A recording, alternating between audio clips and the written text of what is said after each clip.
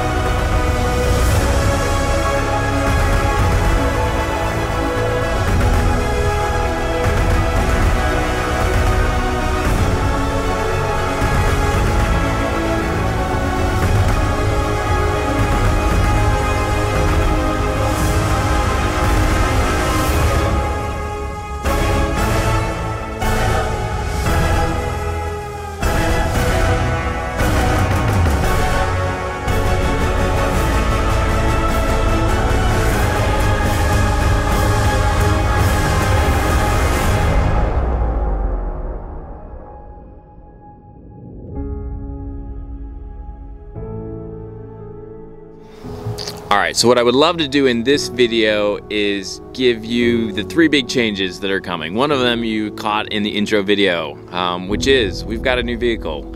Uh, we bought a 2021 Jeep Gladiator Rubicon that initially we're going to be leaving bone stock to do some comparison videos between that platform and the WK2. So look for those to be coming out as we kind of get caught up here um, the Gladiator's got about 11 inches of ground clearance and the WK2, the way it's built out, I think actually has a little bit more.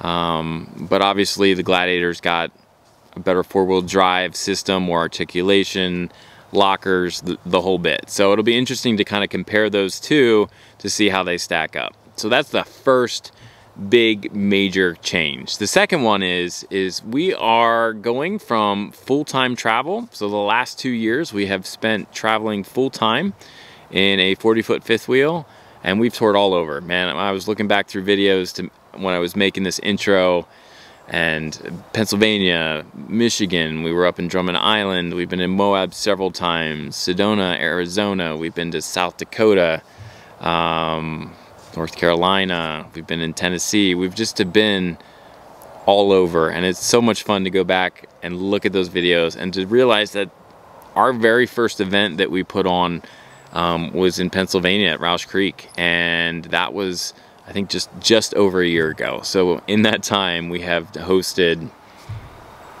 dozens of events and have been all over the country. And so we really enjoy doing those events. Those events will keep going, so don't be scared. They're going to keep going. Um, but we're taking kind of a minute because what we're doing now is we're moving from that full-time travel lifestyle to actually having a home base. So the last couple videos we've done have been shot in North Carolina and our second big announcement is, is that we will be buying, we're in the process of buying land and we'll be building a house here in around the Asheville area of North Carolina. Lauren took a job in a hospital system nearby. She's an occupational therapist, so she's gonna be and has already started back to work these last few weeks and I will be transitioning to uh, continue to work on the videos and homeschooling our three kids, which I've done before. And I also do telehealth. I'm a physical therapist, so I'll be doing telehealth and have been doing that. So we've got a lot of transition happening like right now. So if we've been a little slow with videos or there hasn't been time out on the trail, that's why. And the third thing I really want to kind of talk is just the channel and the trips. If you've been out with us, um, man, we just have a blast when we go out together. We've had lots of folks ask us when our next events are going to be, and they're anxiously looking forward to them, and they're they're coming. Um, because of all these changes and being in a brand new area to us, we really want to take time to get to know the area, to get the, our feet under ourselves with all the kind of other things that are happening with the transition and, and and transitioning from full-time travel to, to having a home base, there's just a lot of changes happening there.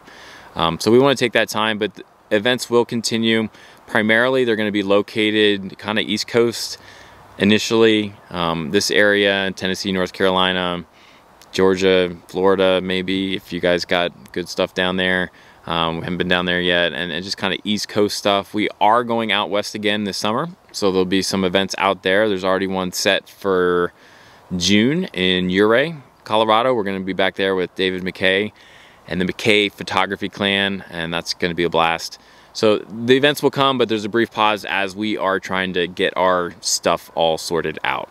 I think another change that you're going to see with the channel itself is obviously there's a new vehicle that will have lots of content to put out some comparison vehicles between the Gladiator and the Jeep Grand Cherokee, as well as as we, and once we do start to build out the Gladiator, there'll be content there. Um, and I think once that Gladiator is built out, it's gonna let us do trails that we can't do in our WK2, so there'll be some of that. But then too, I really wanna make this into an overlanding vehicle with a, you know, probably a tent over the truck bed, freezer, and, and, and more just getting out and exploring those kind of videos. So look for true overlanding kind of stuff to come. We've been honestly much more heavily into just off-roading, but that transition from having a fifth wheel to a smaller vehicle that can actually get out into the sticks a little bit better, uh, I anticipate that we're gonna have more of that content coming as well. So another big thing, a big announcement that's coming is, man, we are just shy of 10,000 subscribers on YouTube. So if you've been watching us for a while and you're not yet a subscriber, like we're 150 away. So it would just be awesome if you've been dipping your toe in us for a while that just go ahead and subscribe. Like they don't steal your money or anything crazy like that. Um, it just helps us grow. And so I would strongly encourage you to do that. We're excited about that. I think the last thing I really want to address is kind of the kind of pull that curtain back a little bit and talk about why all the changes. Um, we've after two years on the road, I was kind of getting tired of moving my house all the time. Um, these things, these fifth wheels, any of these RVs are not really put together to be living full time in them. And so as you start to see things kind of crumble or you feel like you're forever fixing things or moving things, um, we really just missed a home base. And so we, we love community, we love being around people. And when we have our events, we have that community. And as we travel, certainly we've made some awesome friends, but really looking forward to having a true home base and a home that we can host people in. We just, I mean, both of us just love hosting. So I'm sure once we have a house that we're in, um, man, we'll just love to have people out and host them.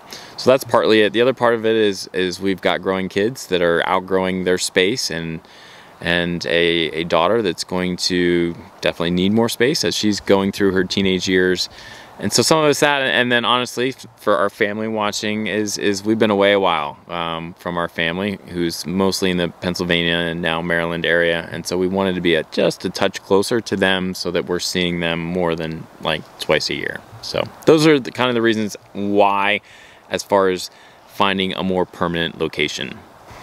On the rig side, the new rig man, I'm really excited to be able to conquer and, and take on some trails that are a little more and beyond what the WK2 platform can do. So that's partly it. I, I like I said, we're going to leave that thing stock for a while to compare them, but then definitely look for us to be upgrading that and having not a monster truck, but I, I do want a rig where I can tackle some things that we can't quite tackle in the WK2 platform, as well as having just a vehicle that we can take out camping. Uh, I got kids that are excited to do that, and and not Nora, but the boys I think enjoy that and want to get out more, and and I want the freedom to to go explore and to be able to do some of that. So that was kind of why we're bringing in another vehicle there that that's able to to handle some of those trails. So guys, thank you so much for your support. Thank you for following us to our patrons um, that help support this channel. We couldn't be doing all this without you guys and, and hopefully the content we're producing and, and now that we have a home base that we can be trying to do more kind of meetups in this area once again we get settled. We are feeling very much like we've gone from warp speed and we're trying to slow down. So there's a lot of changes happening for us. So please bear with us as we transition over these next couple months. Uh, but once we get our feet under us and feel like we're planted firmly look for those things to be starting uh, I really think realistically next trips that we'll be planning will start in the spring once we've kind of gotten a feel of the area and, and know what we're doing there. So look for those to start up again on our website and we certainly will make those announcements. All right guys, I've done way too much talking. So that's the update, big changes and we're gonna keep growing, um, but we're gonna do it more in this beautiful area. So thank you so much for watching. Thanks for your support and we will see you guys again real soon.